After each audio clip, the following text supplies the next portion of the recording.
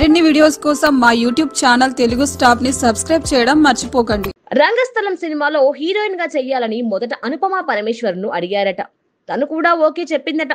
Cinema unit అఫీషియల్గా ప్రకటన కూడా చేసేసింది. కానీ రామ్ చరణ్ సరసన అనుపమ సైతం తాను హీరోయిన్గా చేస్తున్నానని చెప్పింది. కారణాలేంటో గానీ చివరికి సమంత ఈ సినిమాలో నటించింది. ఇదొక్కటే కాదు చాలా సినిమాల్లో తెలుతో ఒక హీరోయిన్ అనుకున్న పలు కారణాలతో చివరకు మరో హీరోయిన్కి ఛాన్స్ దక్కుతుంది. ఈ మధ్య కాలంలో ఫస్ట్ ఒక హీరోయిన్ని ఫలానా రోల్కి అనుకున్న తర్వాత మరో హీరోయిన్ వచ్చి ఆ ప్లేస్లో చేరిన సందర్భాలు అనేకం ఉన్నాయి. అయితే ఇంతకీ అలా మార్పులు జరిగి హీరోయిన్ రీప్లేస్ అయిన సినిమాలేంటో ఒకసారి చూద్దాం. ఇంతకు ముందే చెప్పినట్టు రంగస్థలం. ఈ సినిమాలో మొదట అనుపమాని అనుకున్నా ఏమైందో ఏమో కానీ చివరికి సమంత నటించాల్సి వచ్చింది ఈ సినిమా ఎంత పెద్ద హిట్ అయిందో అందరికీ తెలిసిందే. ఇక నారప్ప. వెంకటేష్ తాజా రీమేక్ మూవీ నారప్ప.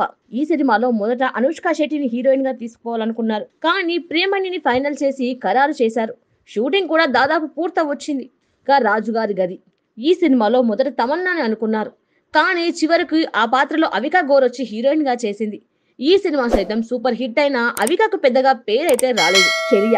ఈ సినిమాలో సాయి పల్లవిని హీరోయిన్గా తీసుకోవాలని ముందుగా కోరారట. కానీ చివరకు అదితిరావు హైదరి నటించింది.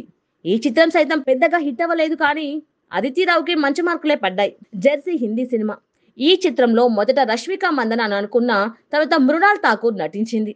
ఈ విధంగా మొదట బాలీవుడ్ సినిమాని రష్మిక మిస్ అయిందన్నమాట. వరుణ్ తేజ్ టెన్. ఈ మూవీలో కియారా అద్వానిని హీరోయిన్గా చెయ్యాలని కోరారు.